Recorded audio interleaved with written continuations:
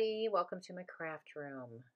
I have been meaning to do this video for a long time. We've been one year now in our apartment here in downtown Greenville, South Carolina. If you watched my last organization video, it was back when we lived in Florida and we were getting ready to sell our house right when COVID hit. And now uh, we moved from a 2,000 square foot home to just under a thousand square foot apartment. I am lucky enough to have a full bedroom all to myself from a craft space with a nice sized closet. And today I'm going to take you through every space and show you how I organize all my craft supplies, art supplies, and sewing supplies, and maybe a few other things. And although it looks like I have quite a lot of stuff still, the downsizing was tremendous. If you look back in that downsizing video, you will see, uh, although I had a craft room, I also had the rest of the house. Lots of closet space, lots of space under the bed, lots of space in the daughter's bedroom and closet. So I am now confined to this one craft space with far less stuff, even though it does seem like a lot.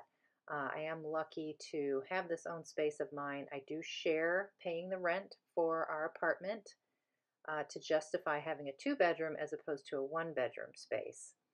Uh, as long as I am continuing with my craft business, that's the way that things will go. So uh, let's take a look at everything in the room little by little, and I'll share a, a handful of tips and ideas for organization.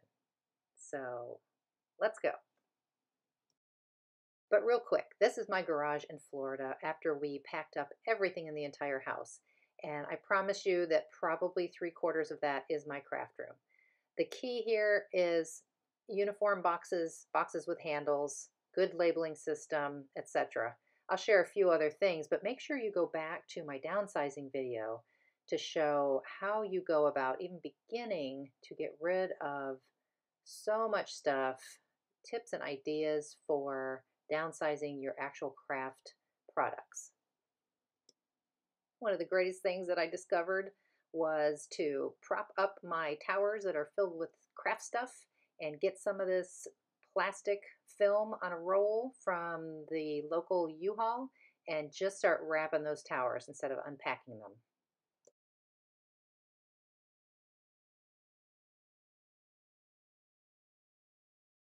Okay, welcome to my new craft space. We just moved in yesterday and look at, look at, look at. There's boxes everywhere, you guys. Uh, I do have my table set up, a lamp, uh, but everything really is needing to be unpacked. I did have a nice sized closet when I moved here, so I've started to put my little my towers in there with all my Graphic 45 collections and my fabric and some other things here. I just, of course, have to go through everything and get it more orderly very soon. But here's where we are. I have great three windows there on that wall. I'm gonna set up my desk with my two towers there. And I've got these two lovely cabinets I'm gonna be putting together from Target. I'll show you those when I get them put together. They have like a, a faux marble top and some cubbies. So those are going to go under the windows over there so as not to obstruct my beautiful view. And if I could, if I could see it, like if I could share it, there are some mountains way out there. So, so far we're loving Greenville and just stay tuned and I'll be back when I get this in order. No place better than to start in the closet. As you can see up there, I have stowed away Christmas stuff, and I have a small shelf in here from Target. This particular shelf is like shipping supplies, envelopes, bags, folders, somewhat office supply stuff, uh, with a little bit other things mixed in, like you can see in these bins here, um, which I will talk about the bins. But I do have some Graphic 45 goodies here, larger albums and things that I can't store over with my other Graphic 45. These bins are wonderful. They're clear, they're 12 by 12. They're from Darice, and I use them for so many of the supplies because they're far cheaper than those iris boxes, and they're super clear. They don't get frosty or dull looking. So you'll see these a lot around my craft space. All right, paper collections. And this is mostly graphic 45 because that's mostly what I work with. So I use these wonderful bins from Art Bin and I do label them on the outside according to theme and then actual paper collection. So in this travel themed box, you will see Life's a Journey and Come Away With Me and several others. Uh, that looks like World's Fair back there.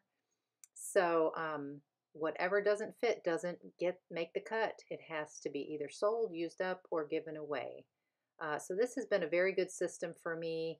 And as you can see, there are some other themes with the actual paper collection names underneath. And so far, this is working well for me. And for all those little bits and charms and doodads, I use the thinner Art Bin compartmentalized storage system. All right, stamp sets. I love these clear bins. You can find them in Target and Walmart and every store ever. Uh, mainly meant, I think, for the refrigerator and, and storage in the kitchen. But I love to store my stamps in these. And there's different sizes, as you can see, for my different stamps. Uh, I am getting a little overflowed here with the stamps, so I'm going to have to go through these. But you can see they are categorized by brand pretty much. There's my Stampers Anonymous stamps. You saw Graphic 45 and Close to My Heart before that.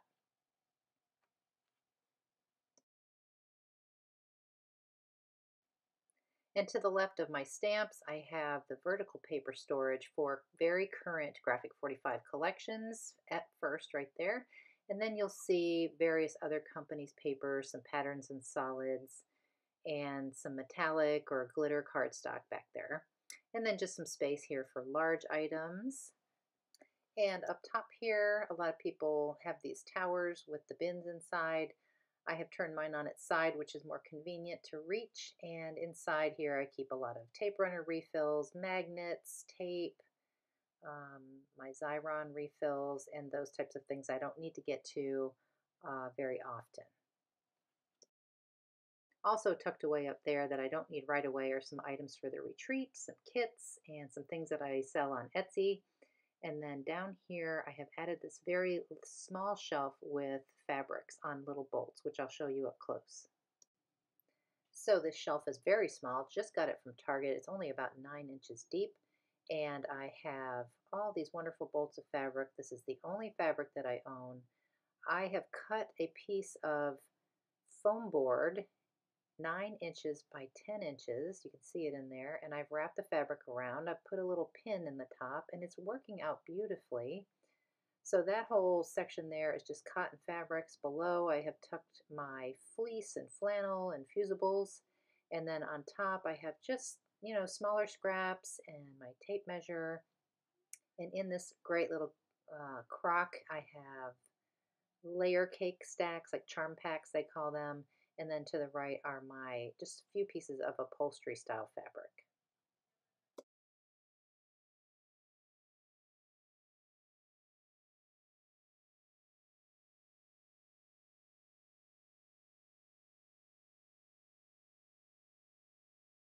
Okay, stepping out of the closet here, an extra tower. I have my industrial paper trimmer there. These are unfinished projects, projects that are done, holding places for things. It's just sort of a miscellaneous thing for now that I have tucked neatly behind the door. The right is my work table, and those white bins are wonderful. They're for works in progress. And then below the table, wonderful amount of space because it's a nice tall table to have more of these towers. And of course, everything's labeled with pretty graphic 45 paper in there. This is mostly office supply kind of stuff. That's why it's on the opposing side of the table from where I stand.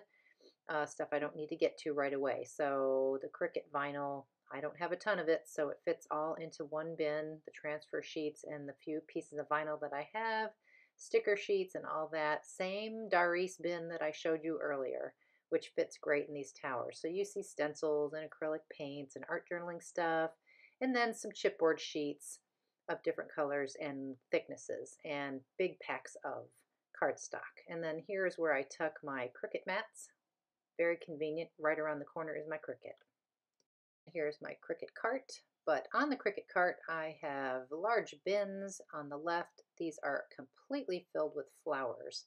And I was very good about sorting these out by color, but as you can see, I've stuffed some on the top, which need to be organized.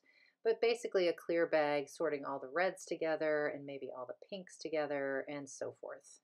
And then to the right, I have my little Cricut book, which I keep a picture of everything that I purchase SVG wise. And then I have all these long rolls of things in the other bin. And then just some random art kind of related stuff, some ephemera and some journaling cards and my business cards. And there's that great stand I made out of recycled materials for my Cricut to sit on. So it raises it up out of that recessed part of the cart. And I have a little bin here with uh, Cricut markers, blades, refills, things like that. And I even have uh, this cart on wheels so I can easily move it out if need be to clean.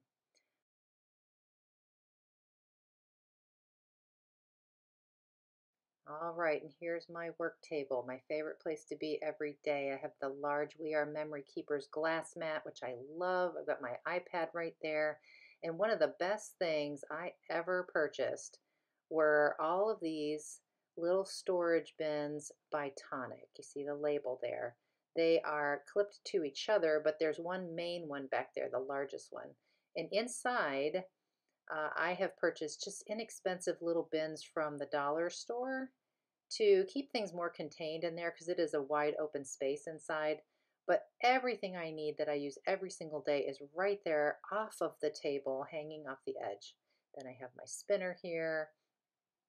I have my little cubby with stamp blocks and foam tape and extra glasses and water bottles and all those good things I need to grab all the time when I'm crafting. Of course, I have my wonderful lights that have different settings and brightnesses and warm and cool tones. And I have my uh, tripod for my camera when I'm doing my Facebook Lives and YouTube videos. And under the table, it's great space again for extra scrap paper for stamping and whatnot. Uh, in between the towers is great place for large cutting mats and scoreboards. And of course, in these towers, I have drawers and drawers of ribbon and twine and lace and fringe, all very organized. If you've watched any of my organization videos prior, you can see inside how those are organized. And here's just a little sample. I keep colors together, and if they aren't on a spool, then they go into a little baggie, especially small pieces.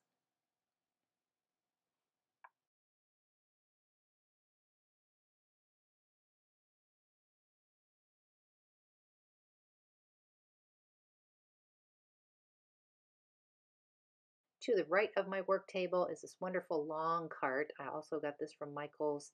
And in here are all kinds of things I use every single day. I've got my little mini straightener that I straighten ribbon in that little holster carrier. I've got my heat tool. I've got all kinds of die cutting supplies here. I've got my MISTI, uh, all the different plates for die cutting. I even threw some baby wipes there because I use those all the time. In the corner, I put my extra paper trimmers and then on the second shelf are punches and extra scissors of all different kinds of punches there. And of course, everything's in its own bin. This one has my envelope punch board, but all kinds of extra tools and brayers and things such as that, an extra Crop-A-Dile, and my hot glue stuff back there in the corner. And then underneath, I keep magnets because they're large sheets. And this is my favorite wall. It's the bee wall. So I have some beautiful samples from friends that have made me beautiful, gorgeous cards up there. I have all kinds of little supplies here, mainly a lot of my distress inks, but tools that I use all the time, sanding blocks, the sticker maker, of course, Kermit, you saw him real quick, um, oxides, and then you will see um, pearls and gems and everything's categorized, everything's labeled. I've got my little fingertip daubers, one for oxides, one for water base, and of course I've got my little tin of mini archival inks, which are wonderful to take on the go. And then brads and eyelets and such on that left side. Okay, and turning to the right, we look outside, my beautiful view over there. I can see the pool, I can see the mountains out in the distance. And just below the window, where I have good light and natural sunlight, I can match cardstock colors beautifully. So there's my scrap bin, but then here are all my 12 by 12 cardstock Uh, I have now put them all together, doesn't matter what company they come from, and just sort of group them by color. And then of course I have this little bin has random corner punches and wax paper and my heat tool. Um, a great place for things like that. And then of course we have my blending brushes, which I use just for my oxides. And I hope you watched the video on how I made that little holder. Then these wonderful Kelly Rae Roberts mugs, which I put random things in, little tools, little pins, and then my Vagabond cutting machine and my cutting plates there. And of course I put a little trash can for all the little paper bits in the corner. Okay, this is that same cabinet. There's some tools there, some basic craft supplies in those two bins. And this bin in particular holds completed cards and some various envelopes that I've either made or collected. I don't generally make a lot of cards ahead of time. I make them as needed, but this is the place that I like to keep cards that are finished.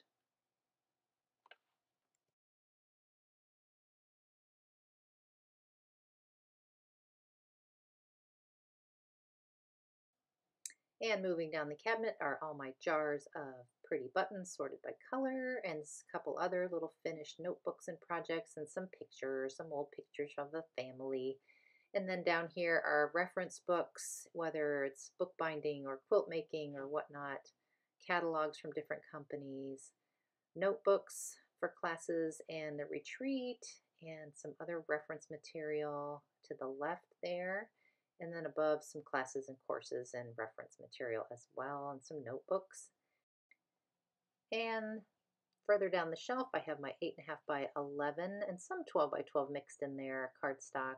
Uh, over here in this end, I am keeping my Elizabeth Craft Designs paper pads and 12 by 12 collections because just below there is where I keep my Planner Essentials things that are in progress. So I keep the boxes that the actual albums come in, and that's where I might throw the stamp sets I plan to use right now, uh, bits of ephemera, that the things that have been going on or I've collected. I just kind of keep them in the box until I'm ready to make those pages. So I do have that one going, and then I've got my other nature themed one going. I've got my little bin here I've showed in other videos that have all my hole reinforcers sorted. I add and take away from there all the time. And then I have this big box where I just kind of throw extra things, things I might try out, might, might want to use later, things I've collected. So it's all just a holding place and then I have more albums back there. Okay, moving around the room to the right are my close to my heart stamp pads that fit beautifully in that tower. And I have bins, bins, bins. These hold my distress sprays and some oxide sprays and some distress glitter. Uh, this one holds tapes of all different kinds. This one has texture pastes, paints, some more stain sprays. And then down here are lots of various adhesives and my microfine glitter in the drawer are my alcohol inks and my embossing powders. And then down below in the door is all my Graphic 45 metal. So uh, the bottom one actually holds all the tags that I have, and the top one is all the metal. All right, and here's my nice little desk with my Macintosh computer. I've got my little rotating calendar box that we made at the retreat last year with all the months inside. I love that thing. And behind it, I have just my calculator, checkbook, ruler, some pens, and desk stuff like that. Of course, there's my wonderful planner. Keep extra little supplies underneath. And my little succulents made out of paper. And then I've got a bin back there I made a long time ago with some pads and checkbooks and pens. And my little fan sits right there and my pretty little lamp. And then above the desk are two got three shelves actually, and these are all my favorite, favorite creations that I have made with Graphic 45 products and Elizabeth Crafts in some cases. So you will see them just on display here. Those are actual albums up there, like scrapbooks. I love having them up there. It makes the room so happy and pretty. In the other tower to the right of my desk, up on top, I have this wonderful two-tier drawer organizer, and inside I have my distress crayons back there, my alcohol markers, and in this drawer, these both pull out nicely all the way out. I have my water-based markers and my Posca pens. So this thing I just found yesterday actually at my local Target and I think it's wonderful. Works out great. And so there I have my colored pencils and all my paintbrushes and my little figurine and then some fun little washi stickers. And then below I have all my dies. These are a lot of Elizabeth Craft design dies, which I store in these zip top bags with little magnets on the back. I try to keep them in their original packaging as much as I can, and then just label them across the top. I was labeling them at the bottom, but then I found that when I was flipping through, I couldn't see them as well, so I moved that to the top. In this bin are various other companies, so maybe Lawn Fawn, just a few, and uh, My Creative Time or just many, many different companies all mixed in. And below that, my favorite bin is the Elizabeth Craft Designs Planner Essentials bin. So as you can see here, I store all my dies in these Sizzix frosted envelopes. I have magnet sheets in there. I have everything labeled. I even have some of that um, sticky grip shelf liner stuff in the basket so these don't slide all around. It's easy to flip through and find exactly what I need. So at the beginning were the Sidekick Essentials and then the Planner Essentials and then more Christmas stuff is in the back of that bin. And then the bottom bin is also Elizabeth Craft Designs. It's the stamp sets mainly and then all the art journal themed dies, stamps, stencils are tucked in there as well.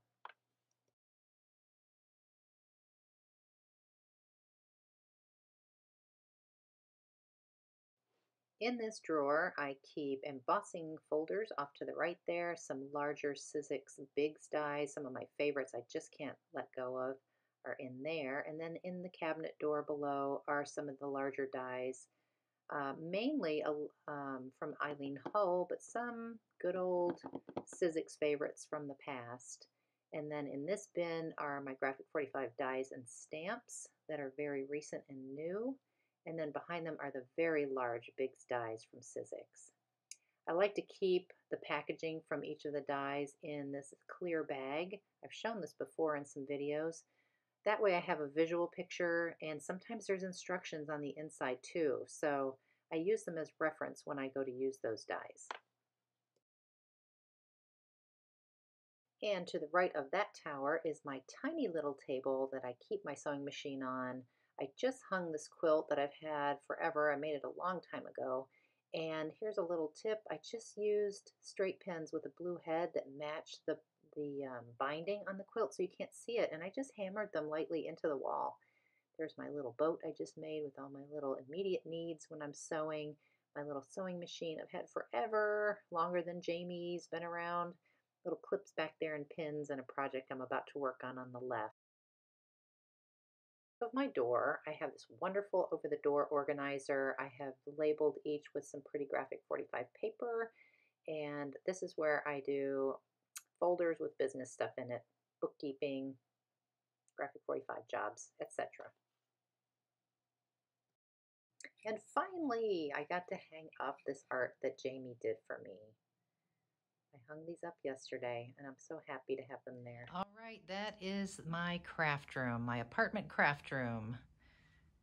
I hope you enjoyed my little tour. I hope that you were inspired by some of my organization ideas or it gives you some idea of how you might like to do things. Uh, I love my little craft space. I am actually very lucky to have a whole room uh, this size. I did not expect that when we moved. I wasn't sure exactly how big it would be, but it's quite sufficient and I'm not spilling over into the rest of the house at all. Everything I have is here, and if it gets to be too much, then that's the key that it's time for me to purge again, use things up, and not to collect. So thank you again for watching, everybody. I will see you next time in the next video. Take care.